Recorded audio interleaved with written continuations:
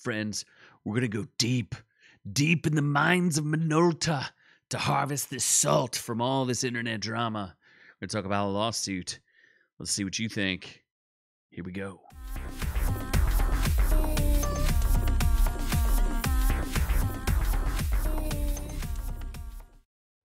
All right, friends, let me paint you a story here. And we're going to review, I guess, this lawsuit. I don't know what we're reviewing, but we're going to talk about it because I found it to be a little bit interesting. I'm the man you may know as Z here with Our Reviews Will Kill You. And we're going to talk a little bit about the Sydney Watson versus the Blaze story.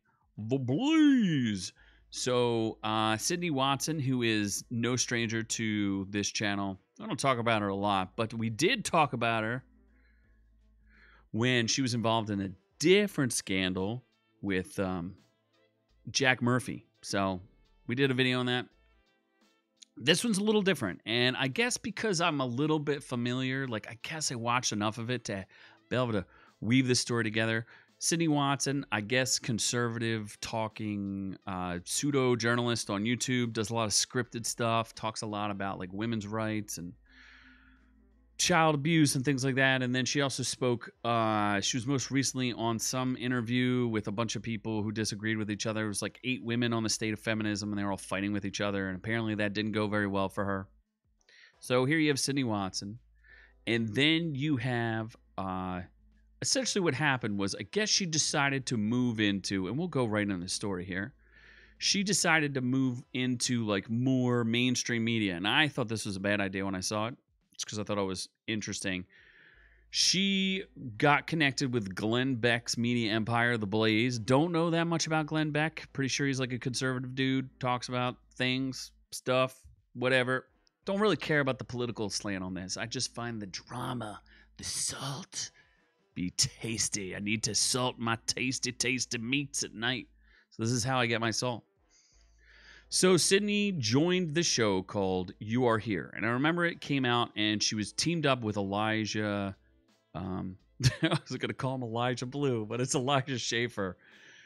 And uh, the, the show seemed a little weird. And the reason why the Blaze is famous because they they took like uh, I guess hot blonde chicks like Tomi Lahren and Donna Lo- Dana Loesch, and they signed deals. So Sydney signed some multi-year deal, and she's claiming it was worth 1.3 million well, she had a problem with the show, and I watched enough of the show to get what I was to like understand what was going on here. Essentially, she's like an atheist conservative person, and then she's teamed up with Elijah Schaffer, who is one of those like I don't know what the dude's deal is. I never heard of him before. I heard he got a lot of coverage during some of the riots because he was there.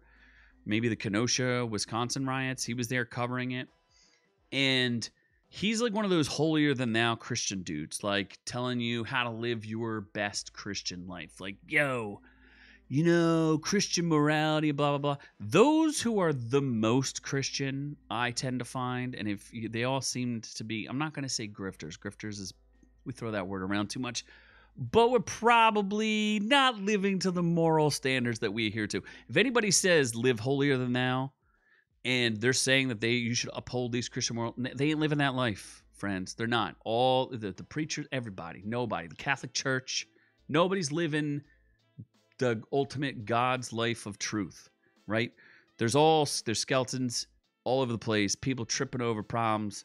So somebody's telling you how to live your life. If you want to be a freak between the sheets, I don't care what you do. Just keep it out of the public life. But privately, it's an issue. So here you you, you pair up the two of them didn't seem like it was a real good fit. And uh, the thing I noticed was they spent all this money on like a set and a producer and all this stuff, and it's like two YouTuber podcast people, and they're not like Sydney does strictly like scripted stuff that she writes, and I guess she edits on her own, and Elijah just kind of rants and gets yells at people about things. So I remember uh, I saw the we covered the Jack Murphy story where she got yelled at, which was not that big of a deal. But I guess she felt like she was being bullied on the show, where she's like she's making all these different claims now, and she's claiming and allegedly that he was Elijah, the co-host, was drunk on set and he was setting her up to fail and would get guests who are misogynistic and blah blah blah blah blah. And I remember she she's also claimed that he officially he would talk a lot about gay sex. I don't know why he did. He had a big thing about it. He would talk about it a lot on that show. You know, I wouldn't watch it all the time, but I caught enough of it to get it. And I do know they set her up with the super chats. They would have her read super chats, and I don't know if she's just dumb or like doesn't know how to read that well. But as she's going through her thing, she's reading super chats, and half of them are racist or like they're trying to get her to say like if think about Bart Simpson calling up Moe and getting like IP Daily, like really dumb, dumb stuff. So she felt like she was being abused and and all this other stuff. So now she she technically I believe she quit. She claims she told the CEO and told a bunch of people that there was problems, things were going on. No one would ever listen to her, blah blah blah blah blah.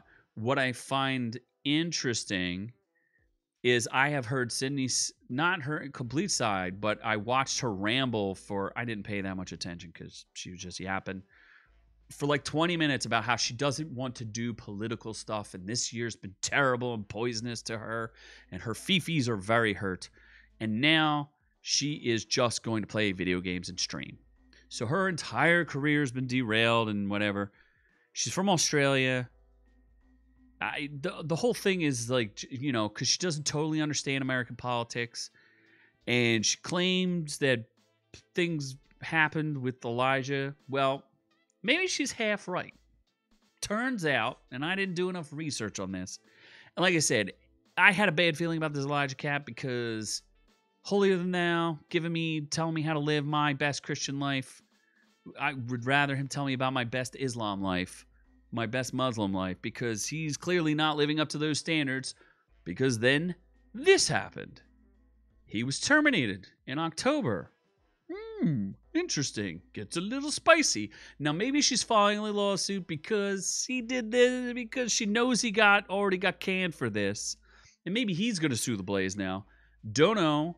Um, but apparently he got fired because he was grabbing some boobage without consent. Now, what's really fascinating is that she, I guess in order to make Sydney feel more comfortable, there was one point where I guess um, Sydney and Elijah's wife were doing the show without her to like kind of figure out how to like rework. I don't know what they were doing on the show. There's a lot of stuff going on behind the scenes that you couldn't tell. But apparently, uh, the Blaze looked into it enough to find out that they needed to fire Elijah Schaffer now, apparently, this dude, he's still got his own show. I, I forget what it's called. Something on YouTube. He's still going, doing his own thing. He's got a lot of fans. And look, you guys are probably going to pick me apart because I don't know what I'm talking about. I'm just looking for the salt. Just, just, just get the dramas out. Just want to see because I pay vague attention to some of these people. And we did a story or two on Jack Murphy, and we've done some stuff on Tim Pool. So I'm uh, seeing all these people like implode you know, I'm watching this whole like weird conservative media thing like just explode on itself. You got the Daily Wire fighting Crowder. Uh, you've got Tim Pool going against everybody, and then we're gonna throw in. Don't for, I haven't forgotten about you, Jeremy from the quartering. coffee brand coffee. Uh, I don't drink coffee, so don't even bother to advertise here. Anyway, so Schaffer got fired for grabbing the boobage and uh, I don't know what his wife thinks about that, but apparently it was there was proof enough, and there was enough people saying that he did it that uh, you know maybe the dude's got a drinking problem. Don't know, don't know what the deal is, but uh, yeah, I remember they talked about going to see this thing called Uncle Tom Two, a conservative film that Schaffer co-produced, and they were seated next to each other. And he grabs a little squishes. Not a good idea. He also picked a fight with his boss Glenn Beck saying something that Mormons are not Christians. Sure, probably not a good idea. Like, I, dude, you can't be holier than thou and then be grabbing up on the ladies. It just ain't right.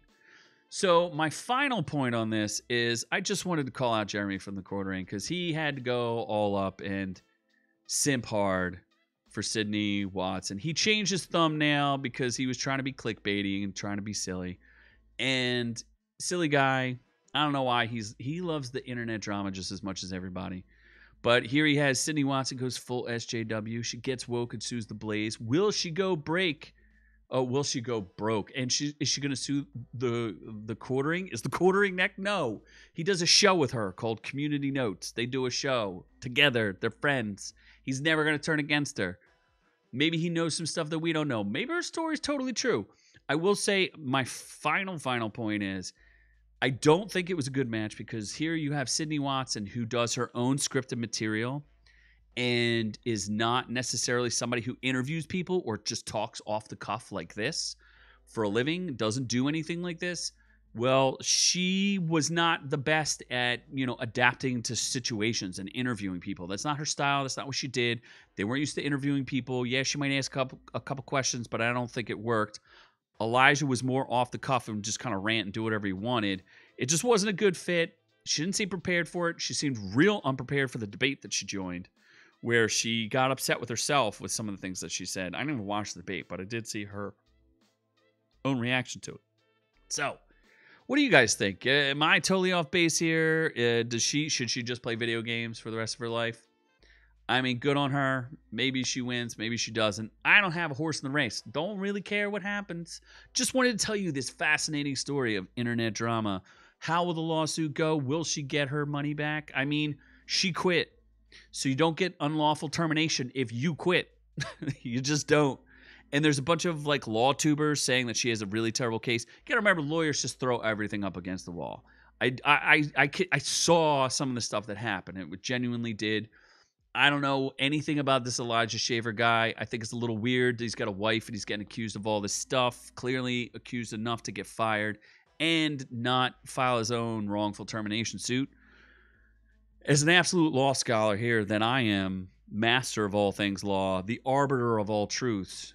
I'm telling you, I don't know what's going on. but I hope you guys had a little bit of fun. I hope I brought this saucy spiciness up so that you could enjoy it. If you want to hear more about this kind of stuff, I'm not super huge on the internet drama, but I like a little bit of spice to spice. So uh, you let us know what you think down below, and I'm sure I'm going to get plenty of hate, but we still love y'all. Catch our full length audio podcast, 7:30 p.m. Eastern Standard Time, streaming right here on YouTube. We're on Rumble. We're on all those good places. You come here, put some fazools on us, and maybe we'll win something. Anyway, we love y'all, but I am on to the next one.